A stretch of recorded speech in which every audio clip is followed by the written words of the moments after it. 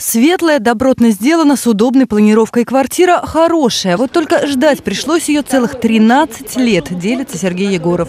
За однушку застройщику заплатили в 2003 году. Через два года стало понятно, квартиры не будет и денег никто не вернет. Достраивать дом мошенники не собирались. Стройка замерла на этапе фундамента. Обманутые дольщики ходили на собрания, пытались отстаивать свои права. Кардинальные перемены произошли 4 года назад. Проблему решили областные власти. Сейчас, конечно, настроение улучшилось, что она построилась, что можно сделать ремонт и можно начать жить. Ключи от столь долгожданных квартир получает 258 самарцев, которые из обманутых дольщиков наконец перешли в статус новоселов.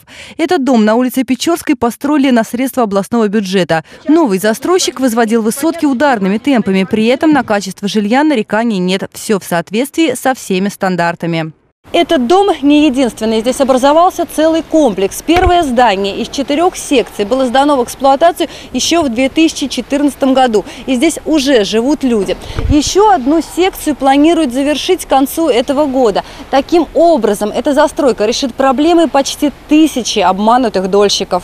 Квартиры строили практически по персональным заказам, чтобы по площади они соответствовали тем, за которые люди когда-то заплатили деньги.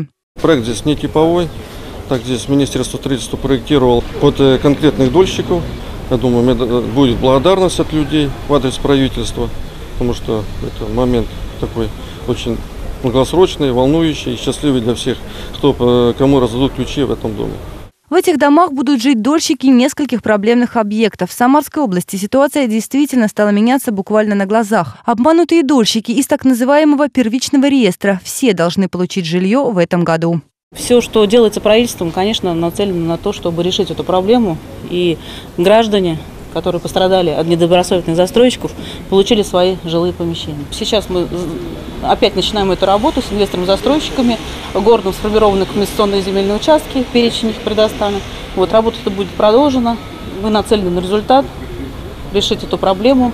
В регионе еще остается 12 проблемных объектов, вопрос по достройке которых не решен. Будущих покупателей строящегося жилья предупреждают, не нужно терять бдительность и гнаться за подозрительно дешевыми квартирами. Разузнать все о застройщике и будущем доме можно в областном министерстве строительства, где всегда проконсультируют по перспективам каждой новостройки. По темпам строительства нового жилья Самарская область в лидерах Приволжского федерального округа. Вопрос обеспечения комфортным жильем всех жителей страны обсуждался и в Кремле на заседании Госсовета, посвященном развитию строительного комплекса. По словам главы региона Николая Меркушкина, в Самарской области есть реальные возможности решить эту задачу в ближайшие 5-7 лет. Марина Кравцова, Константин Головин. События.